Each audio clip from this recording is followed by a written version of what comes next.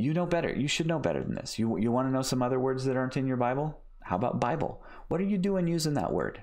Why are you talking about stuff not being in the Bible when the word Bible isn't even in the Bible?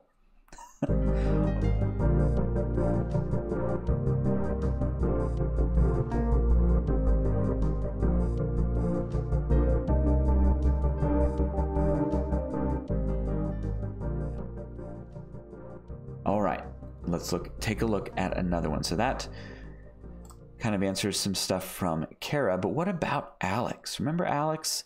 So he had some things to say as well. Under the Unitarian um, video, he went ahead and, and came up with his own five things Jesus never said, he says. So uh, he said, number one, I am God. Number two, worship me. Number three, God is three. Trinity, misspelled there as Trinati, is not even a word in your Bible. Where it's, well, it's not a word really anywhere, but uh, I know what you meant.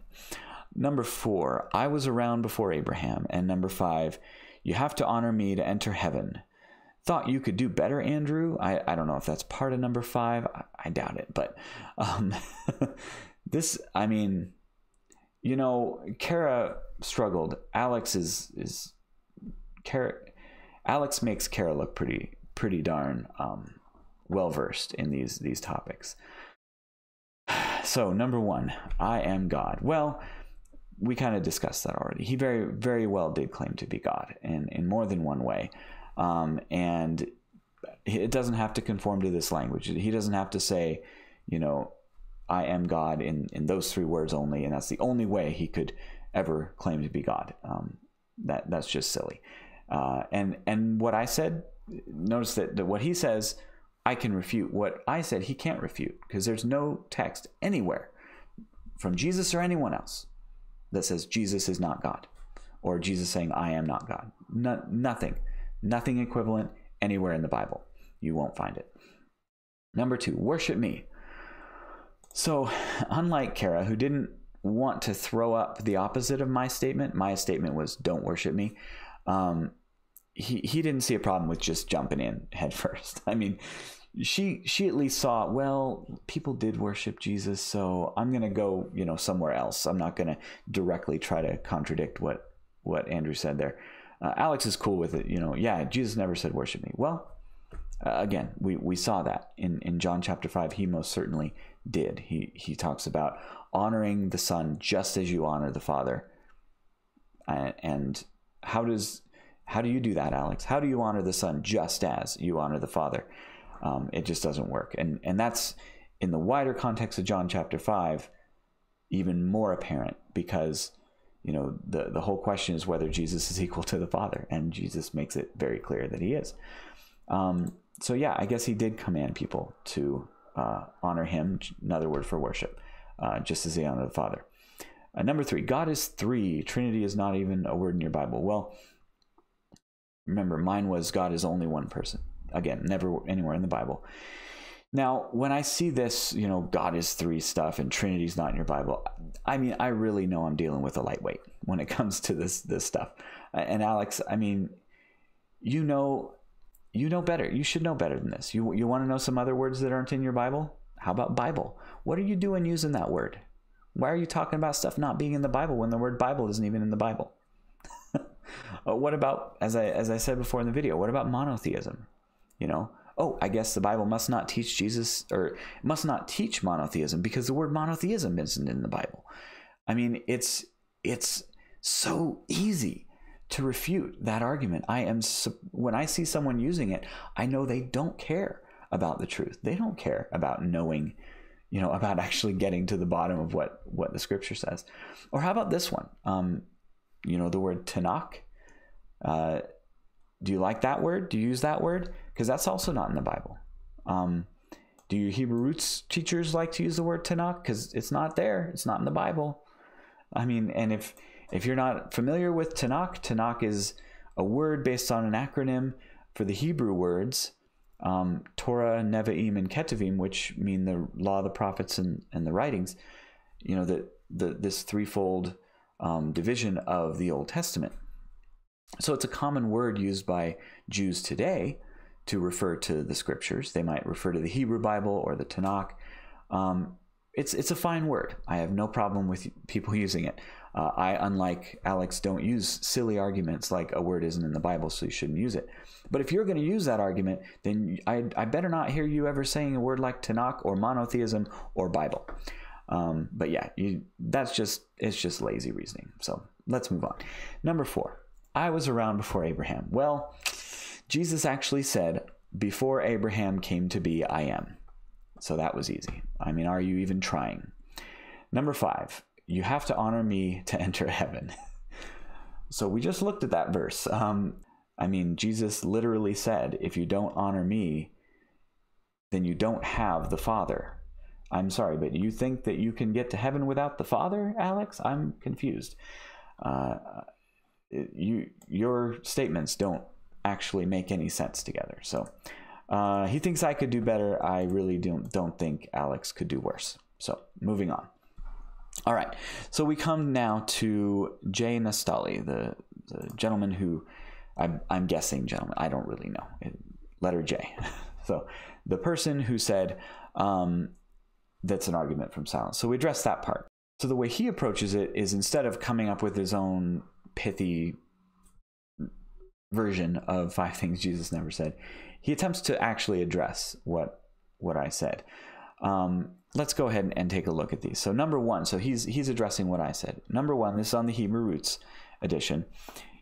He says, "Is it a stretch to think that Jesus introduced himself by his God-given, angel-announced, stepfather pronounced name, Yeshua?"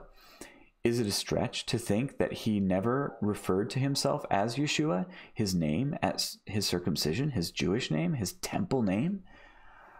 So, no, I mean, as I've said, he, of course, he most certainly did say his name and introduce himself with his name. Um, my point is that, again, wasn't that he, he said, he never said, my name is. He said, he never said, Call me Yeshua with only that pronunciation. Don't say Jesus like the Greek speakers over there. He never said that. And that was my point. Um, if, if you can't even see that point, um, it, shows that you're not really, you know, dealing with these issues. You're just kind of uh, regurgitating things that you've heard. Uh, number two, says you have supported your claims using Hebrew on your channel. Why is that? Is it because it lends itself to a clearer understanding of the intent of the message? Um, no, it isn't. Um, I've supported my claims using Hebrew, but not because it lends a clearer understanding, but because it, the original was written in that language.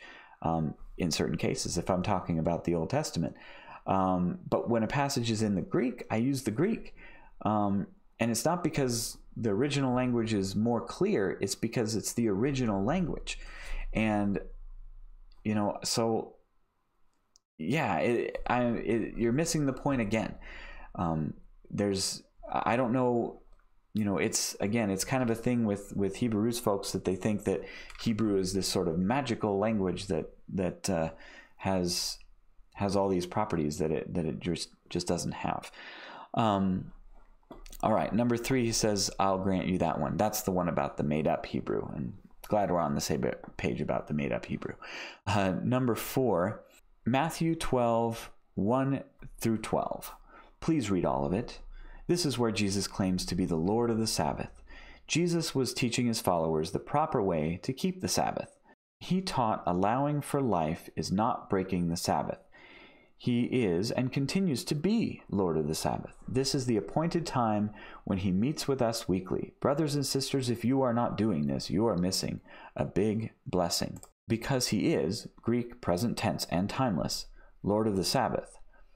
When it comes to claims Jesus made about Himself, most Christians agree that the state of being verbs are timeless because He is referring, inferring lordship slash His God nature but maybe you disagree on what the definition of is is. Yeah. Um, so yes, I do believe Jesus is God. Um, we've we've kind of uh, covered that. I have done a couple of pretty detailed discussions of the Sabbath and Jesus. Um, what Nastali says here about Jesus' God nature making him Lord of the Sabbath, I agree with. Um, he says to read Matthew 12, which I've done. Uh, in fact, I would challenge him to go back and take a look at my episode on everything Jesus taught about the Sabbath. We talk about Matthew 12 and we talk about all of the other times that Jesus talks about the Sabbath. Um, and I've made a pretty extensive case that Jesus and the apostles believed the fulfilled Sabbath was to be found in faith in Christ. Um, the Sabbath is still real. Jesus is still Lord of the Sabbath, um, but it looks different now because of, uh, He has come. Um, so it's it's now observed instead of weekly, it's observed daily in faith. Um, and again, my point with statement four in the video, you know, in statement four, I said, you know, Jesus never said, rest on the seventh day because because he never did. And in fact nowhere in the new testament do you do you see that. And that's telling. It's the only commandment of the decalogue the, the ten commandments that he doesn't reaffirm or enhance. Um, that's that's a big deal. That that should you know merit some study and some some consideration and in fact every time he talks uh, that jesus and the sabbath are, are together in the gospels it's it's controversy every single time. Um, so again, it, it's I would tell you not just read one passage, but read all the passages that where Jesus deals with the Sabbath and and try to figure out why it is that you know all these controversies are happening around Jesus and the Sabbath, and not one time. Here's something else Jesus never said. Um, your Sabbath traditions are not from the Torah. He never said that either. He never defended his behavior on the Sabbath by attacking, you know, extra biblical tradition. Um, a lot of people think, you know, just kind of assume that he was doing that. Um, but read the text carefully. He never mentions tradition. He never. He always just asks questions and points out things that are more important than the Sabbath is what, what he ends up doing. So it's important to read. All right, number five. Um, Jay Nastali says, What exactly do you believe on the divinity of Jesus? Do you believe that Jesus and the Father are one nature? Jesus doesn't disagree with disagree with things the Father teaches, does he? Jesus followed his Father's teachings. Jesus taught his Father's teachings. Jesus said, I and the Father are one. Jesus kept all of the feast days. That's a good enough reason. So, yes, Jesus is God, truly God, and he doesn't disagree with the Father. In fact, I believe the person Moses interacted with when receiving the law was the Son. Um, so you can't pin on me any kind of straw man that I think the Son came to contradict the will of the Father. Um, rather, the commandments given to Moses serve many purposes, all of which would go on for many generations after Moses, but not all of them were truly eternal in the sense that God would never do anything to change that law.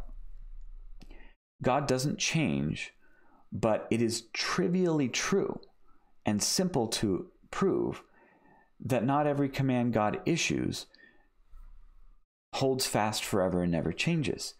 Um, some do, but not all. Um, you know, God, the question I would ask is Did God command the Exodus generation to enter the promised land? Clearly, yes. And clearly, no. Clearly, yes, when they were first being brought there, and then when they acted faithlessly and believed the bad report and said, We can't do it, then God said, You're going to wander in the wilderness for a generation and you'll all die in the wilderness um, all of the adults, and some men said, "Oh, we've sinned. Let's go and now and take the land." And God said, "No, you're you you've received the judgment. Now you may not enter the land." And then guess what? They were supposed to enter the land again later. So yes, God changes His commandments at times. Um, that's up to God. And since Jesus is God, it's up to Jesus. Jesus is the Lord of not only the Sabbath, but the whole Torah. So, um, yeah, it's it's a it, it's pretty simple to understand um, when you're again when you're not just pushing a, a certain a certain perspective. All right. Now, next, I got one from a Muslim, and it was about as shallow as you would expect.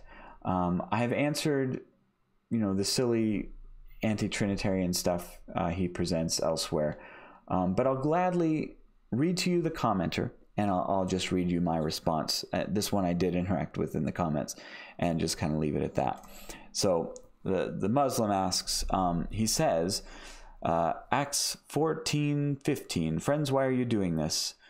We too are only human like you. We are bringing you good news, telling you to turn from these worthless things to the ever living God who made the heavens and the earth and the sea and everything in them.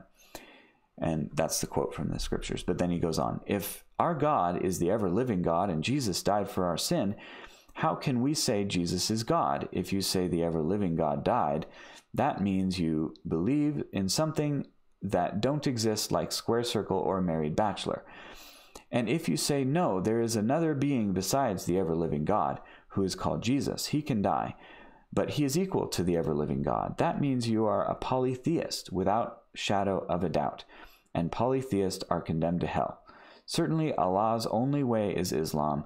Those who were given the scripture did not dispute among themselves out of mutual envy until knowledge came to them. Whoever denies Allah's signs, then surely Allah is swift in reckoning. Allah, there is no deity except Him, the ever living, the self sustaining. So here was my response. Um, pretty simple. Um, it just said, Thanks, you just reminded me I should do an Islam edition. By the way, does the Quran allow Muslims to marry Christians? If Christians are polytheists, as you allege, then no. But then it says you can. So, Um, and yes, so the the Quran says it's a it's a pretty simple contradiction. Um, I thank uh, Anthony Rogers' uh, recent one of his recent uh, videos. You should definitely check out his channel uh, for um, showing me that one because I'm I'm not an expert on on Islam at all. But um, one of the easiest things to see in the Quran is a contradiction is that the Quran says Christians are polytheists while also saying you cannot marry polytheists, but you can marry Christians. So, you know, how do you put all that together? Uh, you can't. So, um, but then finally, I will show you one more. This is from Kara once more, and this is on the socialism edition of the five things Jesus never said. She says, Are you trying to be immature? you know, sometimes you can tell when someone just doesn't like you. Uh, mature people care about substance, and so if they don't have anything important to say on a subject in response to someone they don't like, they usually just ignore it and move on. That's what mature people do. Um, I think it's an important lesson, and so I thought I'd share this one last comment with you. Kara, on the other hand, couldn't come up with anything to disagree with on the socialism video, so but she still doesn't like me. But she didn't ignore it, and she didn't move on.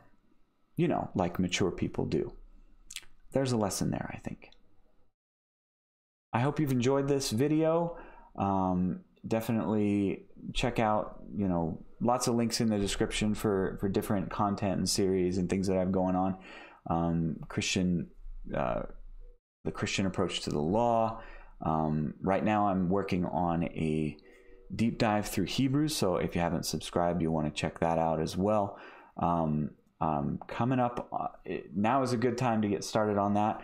Watch the previous ones uh, because the next one we're going to be talking about Hebrews chapter 8 and we're going to be talking about the new covenant. So that'll be interesting there. But anyway, I hope this has blessed you and helped you and taught you some things about how to respond to some silliness on the internet.